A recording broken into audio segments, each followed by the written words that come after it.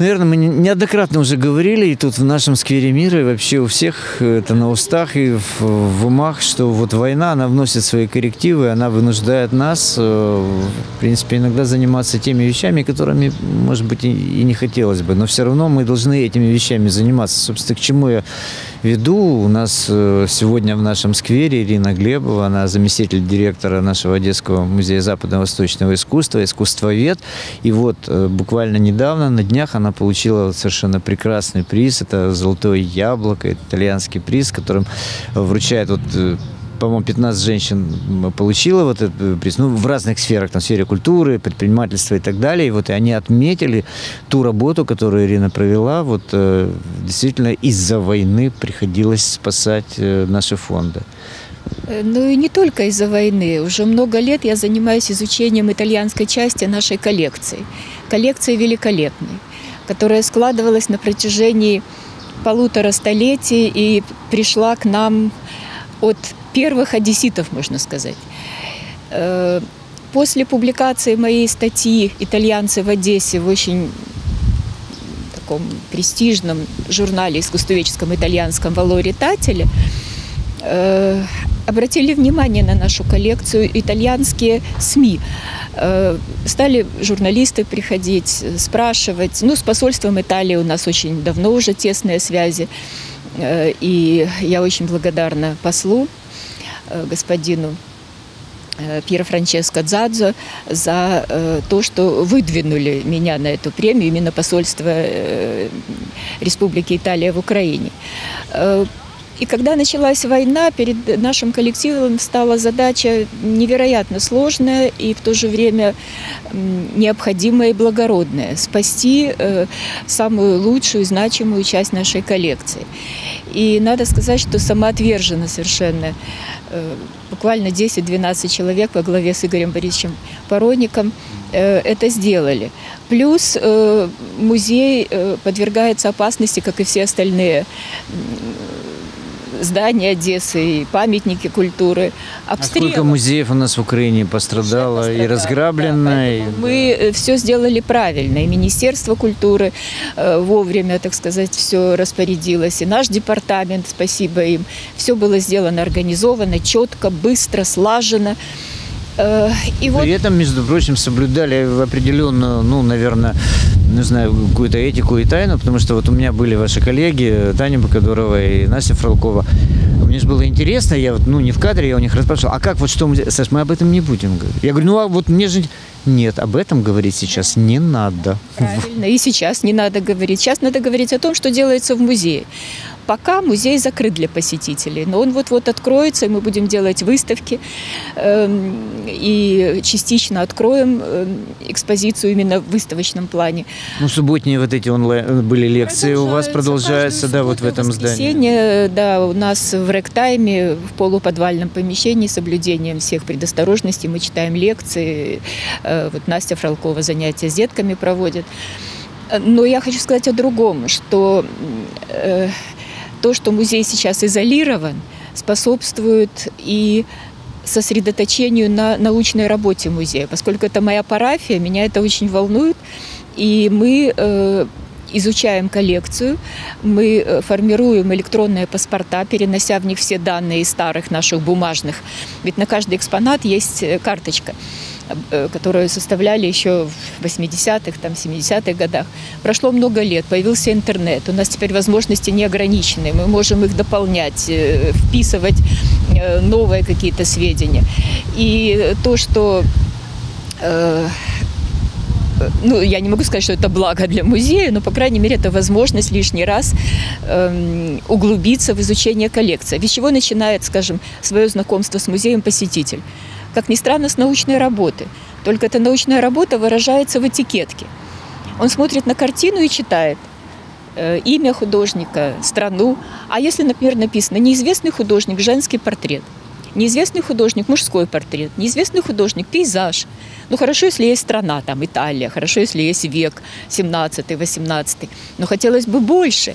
И вот именно в стремлении э, расширить диапазон знаний о старинных картинах, о старинных мастерах, порой незаслуженно забытых. Ну, не все же были такими знаменитостями, как Рафаэль, Леонардо, там, Тициан, а сколько было художников, которые остались ну, временно в их тени, вернее, сейчас в их тени, но при жизни они пользовались большой славой, но не все Ну, вошли еще, в Да, историю. очень важно вот в той научной работе, которой вы занимаетесь, и, кстати, в той работе, которой занимаются экскурсоводы. Ведь художник – это же не селфи. Это картина, в которую художник вкладывал не только там свои чувства, идеи, какие-то эмоции, может быть, он э, фиксировал там какие-то исторические события. Он туда вкладывал свои мысли, он туда вкладывал определенные коды, которые надо Энергию свою. энергию и вот эти вот коды, которые надо уметь читать и Да. уметь воспринимать, потому что когда, извините, ну ты немножко зашорен и не до конца воспринимаешь вот то, что там содержится вот под вторым, третьим слоем, извините, краски, вот. Если туда, вот только благодаря ученым и тем сотрудникам музея, которые этим занимаются, собственно, мы это и делаем. И сегодня, кстати, вы уже сказали о том, что да, ну есть возможности, музей закрыт, но есть же сайт музея, прекрасный совершенно, в который можно заходить, и там можно просто сутками сидеть и все, все листать, смотреть, читать. Э, Да, и я хочу отметить тот вклад, который э, э, внесло предыдущее поколение музейщиков по изучению коллекции. Это наши корифеи, это наши э, учителя. Инеля Григорьевна Лускевич, многолетний наш директор, которая в прошлом году ушла из жизни, к сожалению. И Олег Аркадьевич Соколов, знаменитый художник и музейщик, и Вениамин Николаевич Млынчик, и Людмила Лукьяна Сауленко. Эм, И мне выпала честь подхватить эту эстафету в плане направления эм, э, работы нашей молодежи, наших э, новых, ну, собственно, как новых, уже время идет, многие из них по 10 лет работают, но когда работаешь 40 лет, то их все равно называешь молодежью. И у нас действительно, у нас же целая плеяда вот тех хранителей, вот тех, не знаю, вортовых, вот тех часовых, которые вот там в этом музее хранят. Это работа невидимая. Это работа вот э, там же, как, э, ну вот то, что в фондах хранится, тоже не, не, не часто мы можем это встретить. Благодаря тому, что мы живем в Одессе, мы можем... э, Каждый год да. мы э, Каждый год устраиваем э, вы- э, выставочные проекты. Э, И у нас их было уже немало. И «Золота доба» мистецтва Голландии 17 столетия, и «Ода до радости» э, немецкое искусство. И в прошлом году была великолепная выставка копий. Нет, портреты у нас в прошлом году были, в позапрошлом году копий. Но, к сожалению, эта работа прервана вот э, этим ужасным событием, которое произошло. Ну и ваши лектории, которые И постоянно... лектории постоянно. И мне сейчас так приятно получать вот поздравления с этой наградой из Австралии, Америки, от наших посетителей лектории. А вы знаете, что вы сделали вот, вот своей работой? Вот я не знаю, может, немножко вульгарно буду трактовать, но вот э, общался с болгарами, которые из Болгары, э, Болгарии приезжали к нам, вот к к нашим э, одесским болгарам, вот, и они говорят, слушайте, да вы сохраняете болгарскую культуру как-то еще по- почище, чем мы сами болгары. Вы итальянцев вернули к их корням. Потому что итальянцы, в том числе там, с французами и так далее, они же тоже, они создавали этот город, и они вкладывали сюда свою культуру. И вот эти вот корни, которые они сюда заложили, вот они и существуют. Но вот не так давно я занималась идентификацией одного женского образа на портрете Ринальда Балдрини.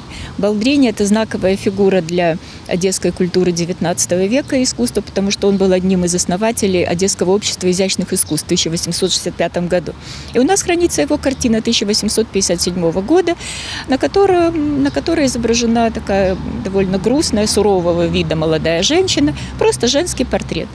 И благодаря реставрационным мерам, благодаря исследованию химико-технологическому и физическому и э, атрибуционной моей, мы установили имя. Это дочь Ринальда Балдрини, знаменитая итальянская певица, сопрано. Она блистала в 30-40-х годах 19 века на сценах Европы. И в Одессе 4 года была примадонной нашей итальянской труппы. Таким образом, женский портрет безымянный стал портретом Эмилии Балдрини. И вот сейчас, э, я считаю, об этом должны знать итальянцы, и надо написать письмо в Болонью, в Болонский театр, где она начинала, и родина Ринальда Балдрини оттуда. А здесь он был реставратором, художником, э, и э,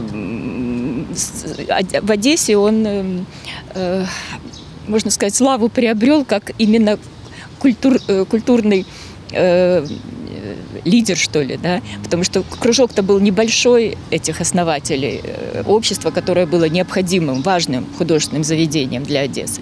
Так что вот один из последних примеров. И, кстати, выступая на торжественном ужине в честь э, премии Мариза Белизари э, в Риме, я сказала, что спасая наш музей, наше культурное достояние, мы спасаем и ваше, потому что это итальянское э, наследие, которое пришло к нам от наших предков и которое мы должны передать э, дальше. И э, Действительно очень важно, что итальянцы вот это заметили и отметили вот, с огромным уважением и пиететом. Вот. Тот действительно труд, я, может, еще раз повторюсь, вот тот невидимый труд, которым занимаетесь вы, ваши сотрудники, действительно, вот, э, ну, для нас, которые там приходят в музей на экскурсии, для нас это, может быть, просто вот какие-то безликие где-то экспонаты. А на самом деле это не просто экспонаты, это истории, это судьбы, это, это совершенно потрясающая вот, вот та жизнь, которая вот каждая из там картин, как- какой, какой-то скульптуры, их невозможно, не- невозможно вырвать из контекста той вот жизни, которая Совершенно проживало человечество.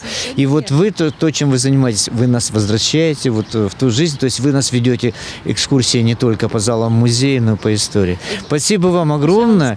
Вот, и еще раз э, поздравляем вас с Спасибо. вполне заслуженной наградой и более чем уверен, она не последняя. И мы все-таки ждем и надеемся, театры уже начали работать. Значит, вот так потихонечку Да, и откроются наши музеи, потому что без этого Одесса все-таки не Одесса. конечно. Спасибо вам. Пожалуйста.